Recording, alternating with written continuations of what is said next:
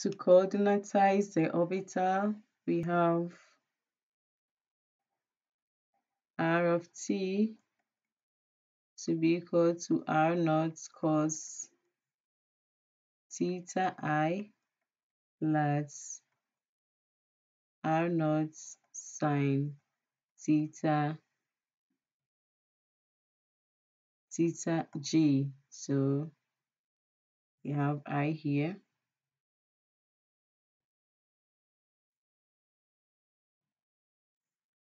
I out i plus this. And the distance the distance traveled along the circle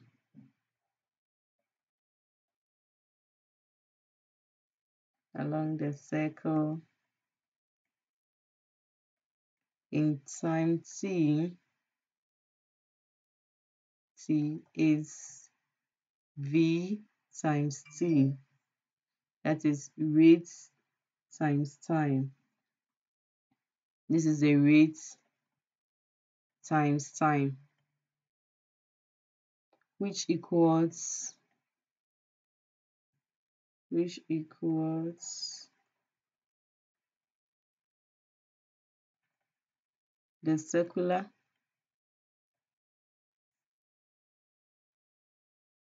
arc length r naught theta which implies that theta is equal to Vt divided by R naught. This implies that R, so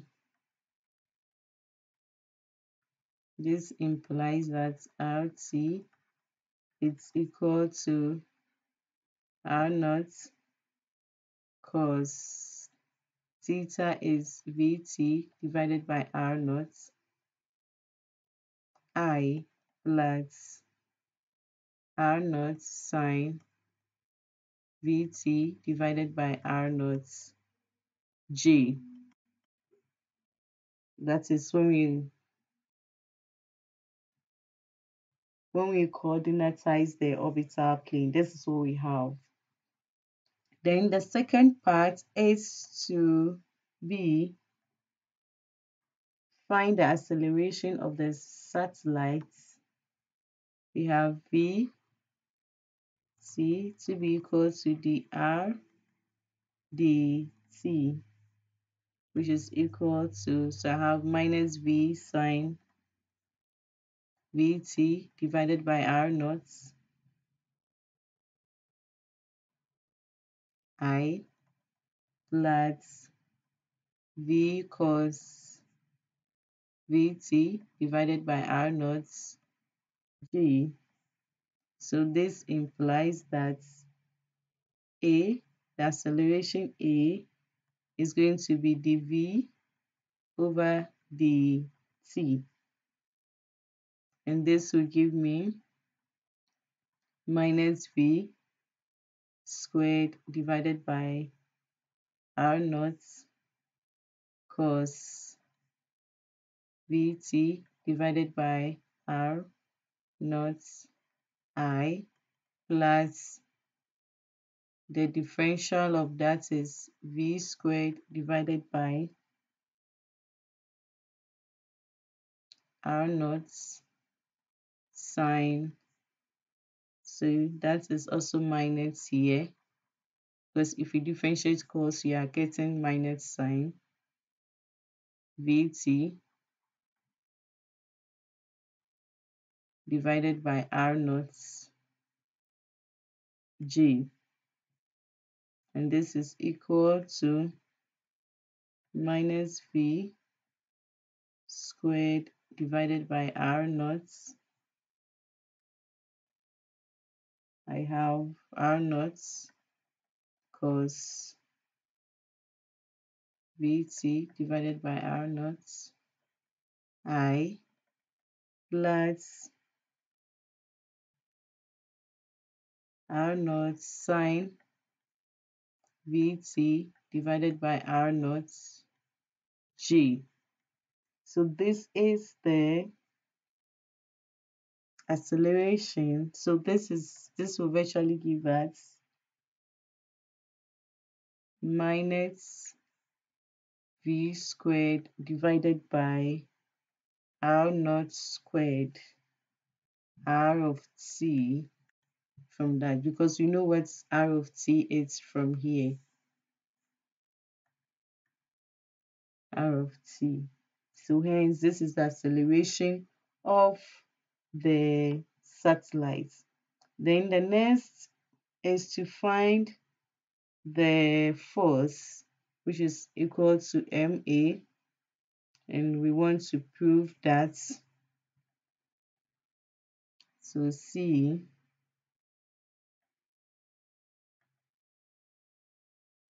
C. You have f to be equal to ma so this implies that I have force so I have minus g m m divided by r naught squared. I have r divided by r naught to be equal to m times a. We know what a is. Is minus v squared divided by r naught squared times r. So what do we have here? So I have minus gm divided by r cube, r naught cube, m here cancels that, and this is going to be equal to minus m v squared divided by r naught squared. So this implies that our v squared is going to be equal to gm divided by r naught. So what happened? You realize that this and that goes away. Then this cancels that, so you have one of that. So v is going to give us gm divided by this. So then we have been able to show that this is equal to that.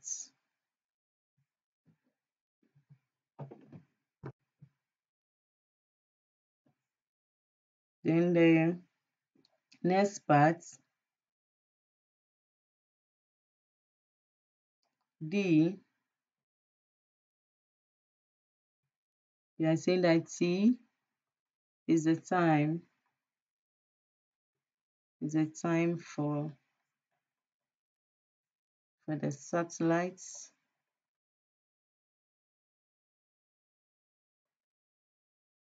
To complete one full orbit one full orbit so this implies that vt it's equal to the circumference of a circle. So the circumference of a circle is 2 pi r naught. Then the last part, if we substitute, if we substitute v to be equal to 2 pi 2 pi r naught divided by t t into v squared gm divided by r naught. This implies that we have so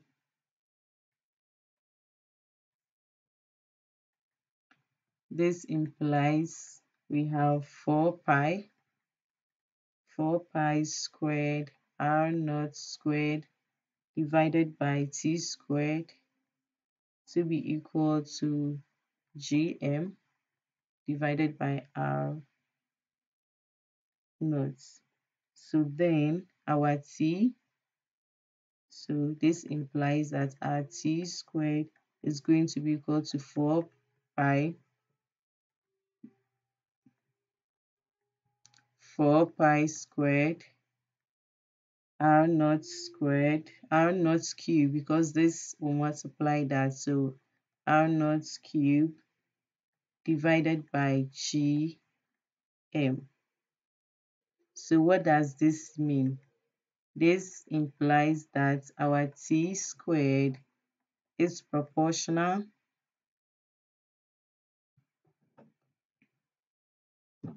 is proportional. So proportional is directly proportional to R naught cube since this whole thing is a constant. So since this, since 4 pi squared divided by gm is a constant.